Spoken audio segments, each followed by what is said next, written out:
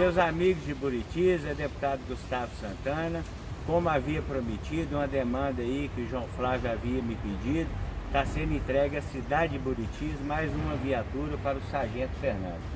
Leve essa viatura que faça um bom trabalho e vocês estão de parabéns. Continue brilhando e dando exemplo para todo o Brasil dessa polícia que é a Polícia Militar.